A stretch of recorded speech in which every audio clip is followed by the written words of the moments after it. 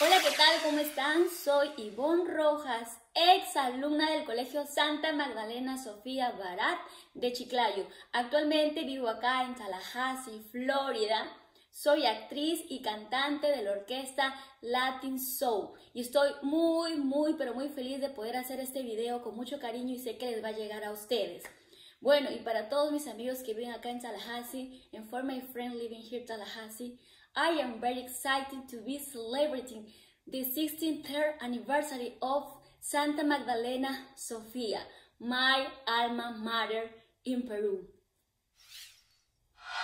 Chicas sofianas y sofianas de corazón, cumplimos 63 años de vida institucional a servicio de la educación en nuestra comunidad Chiclayo. De verdad estoy muy feliz y quiero mandar un saludo muy especial al actual director, al señor César Chapuñán Damián, y a mis queridos profesores de historia, que lo recuerdo mucho, con mucho cariño. A mi profesor Julio César, que fue mi tutor en el último año en quinta secundaria, y por supuesto al profesor Marco Antonio. Y claro, no podía faltar más a nuestro querido profesor Jorge Contreras, del Club de Radio y Periodismo. Ya son más de 20 años al servicio de todas nosotras, alumnas sofianas y ex-sofianas, y la verdad es una loable labor que admiramos y respetamos, querido profesor. Chicas, visiten Radio y Periodismo. Les va a ayudar un montón en su desarrollo personal. Yo sé lo que les digo. Y recuerdo también, con mucho cariño, a la profesora Judy Guzmán, tierna, alegre, como ella sola. También a nuestro profesor Oréstedes, de verdad, un fuerte abrazo a todos y a toda la plana docente, que hacen gran, una gran labor en nuestro bello colegio como es el Santa Magdalena Sofía. Y por supuesto, quiero mandar un fuerte, fuerte, fuerte abrazo a todas mis amigas, a mis compañeras que tuve la oportunidad de reunirme este año que viajé a Perú a mis compañeras de la promoción. Chicas, nueva generación al 2000, para ti, mi amiga Quiroseña, Elizabeth, para, para ti, mi Tolito Bella, Cindy, Santa María, Lady Santa María Naya, para Narumi, para Yuen, para todas las chicas que nos reunimos y de verdad la pasamos muy lindo. Muchas veces nos preguntamos y nos cuestionamos cuando cuando somos adolescentes decimos, ay no, qué horror, tengo que ir todos los días a clase. Recuerden que son 5 años, desde los 11 años o depende, 12 años hasta los 15 o 16 años. Pero quiero decirles, chicas, que ya no soy una adolescente y mi experiencia personal quiero decirles que aprovechen al máximo que la etapa de nuestra educación es muy, muy, muy importante, sobre todo que en el Colegio Sofía nos inculcan valores, y la convivencia, convivir con puras mujeres es muy importante. De verdad, para mí ha sido eh, la clave de, poder desarrollarme después eh, ya de manera profesional. Anécdotas muchas, muchas, muchas. Este, recuerdo eh, cuando uno entra recién a primero de secundaria, pues entran a veces unas promociones, las chicas bien altas, otras pequeñitas, como es mi caso, Recuerdo mucho que yo estudiaba en primer año A, era, era la sección como que eran más estrictos los profesores con nosotros y eran las chicas más estudiosas y las que tenían menos edad, si más no, no me equivoco. Y me pasó algo, una anécdota, digamos así, como que eh, triste y a la vez como que, bueno, teníamos como cuatro exámenes y resulta pues que estudiábamos en la mañana y entrábamos siete y media. Y pues a mí se me ocurrió estudiar todo esto. Bueno, no se me ocurrió, tenía que estudiar. Pues no tomé desayuno. ¿Y qué creen? Pues a la hora de receso, a la hora de recreo, me fui a comprar. Y ustedes saben que ir a comprar al kiosco, si tú eres pequeñita, era toda una adrenalina porque se acababa el recreo y nunca comprabas nada y te regresabas sin nada a, a tu aula. Sucede que me sentí mal, se me sentí fría Llego al salón, yo no recuerdo, pero una compañera de nosotros me dijo que yo la agarré y le dije, agárrame. Y sucede pues que como no te me desayuno, estudié, me, eh, me levanté muy temprano, fue al colegio, pues me desmayé. Fue mi primera vez que me desmayé en el colegio. La verdad me asusté mucho, tenía 11 años, me puse a llorar. Después me mandaron a enfermería y después me regresaron a mi casa. Pero la anécdota de ese, de ese día es que teníamos cuatro exámenes y a raíz de que me desmayé, Todas mis compañeras se salvaron el examen porque decía que era porque teníamos muchos exámenes y me había desmayado. no necesariamente era así, pero ahora ya les estoy contando.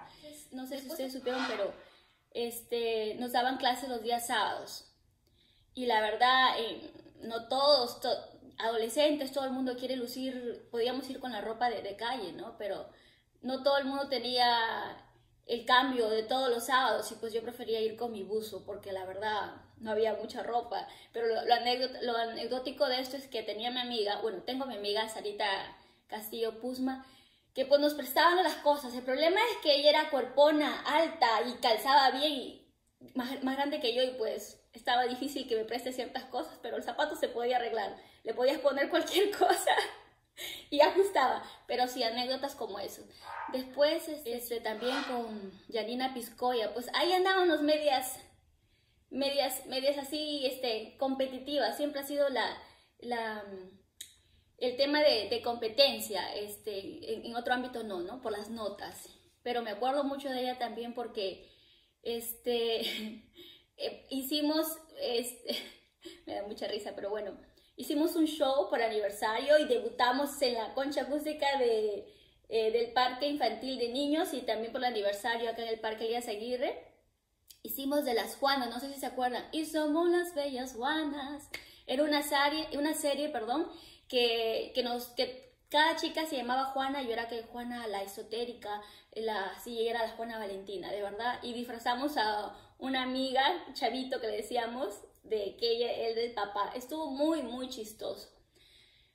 Después, Dios, ah, quinto secundaria, mi amiga Liliana, y mi amiga Celi, que la quiero mucho, este, eh, tuvimos que bailar, ¿se acuerdan del siki, siki, siki, siki, siki, siki, siki? Pues nos preparamos así bien profesionales, bien pro, y para, para una presentación por el Día de la Madre, eso fue en quinto secundaria, lo recuerdo con mucho cariño.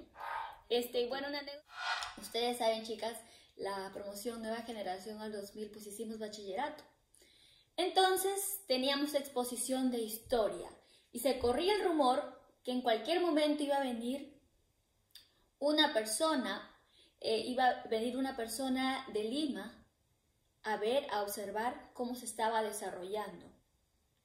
Todos teníamos miedo que, que nos toque nuestra exposición. Da la casualidad que nosotros como grupo fuimos las premiadas.